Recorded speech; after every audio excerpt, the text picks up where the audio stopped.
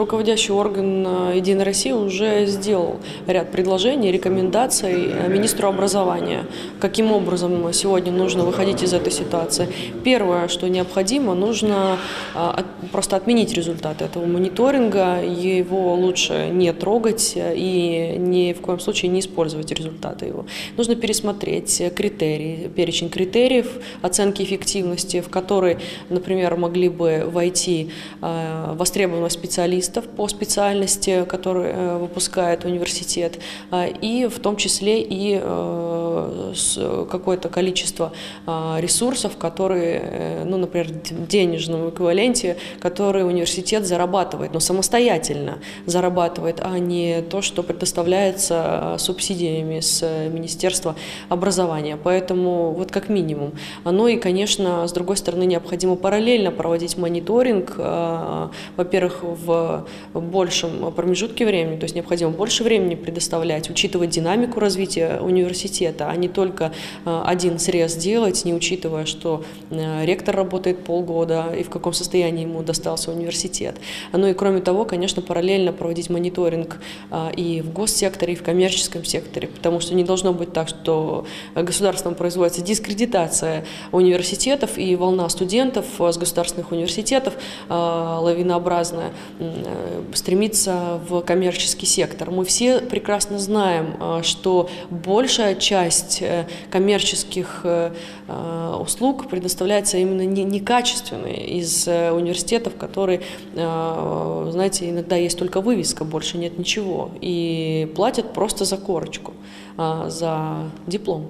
А мы же хотим сделать качественную реформу, мы же хотим преобразовать Э, нашу систему образования. Мы хотим быть э, конкурентоспособными. Мы же э, видим, какие критерии нам предложил министр образования.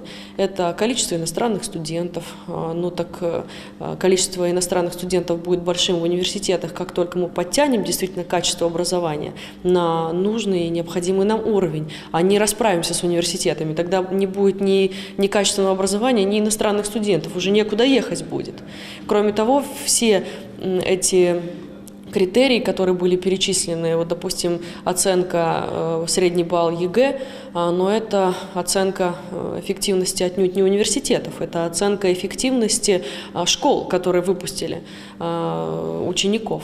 Но я вам скажу, что с другой стороны, площади критерий количество площадей на одного студента или на одного преподавателя, но это тоже не совсем э, не, не, неэффективный критерий. Как минимум просто потому, что а, именно Министерство образования э, предоставляет э, возможность увеличивать площади или сокращать. Поэтому это, конечно, неправильно. Ну и кроме того, под одну гребенку и педуниверситеты, и э, творческого, творческой профессии, это кино, литература, э, и сельскохозяйственные, ну точно неправильно. Нужно учитывать специфику э, этих университетов, и поэтому, наверное, даже критерии должны быть разными, и подходы должны быть разными, действительно, при измерении. Ну и кроме того, мы понимаем, что Э, университеты, которые работают э, в субъектах Российской Федерации, они готовят специалистов для экономики региона.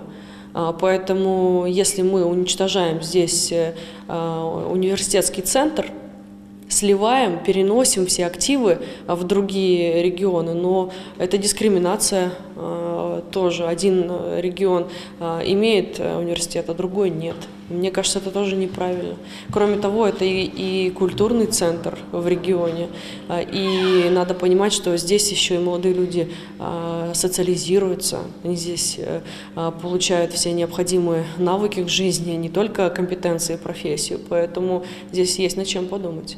Действительно, сегодня мы перешли на рыночные рельсы. Раньше у нас была несколько другая система, не то что образование, а экономика была другая, плановая и советская.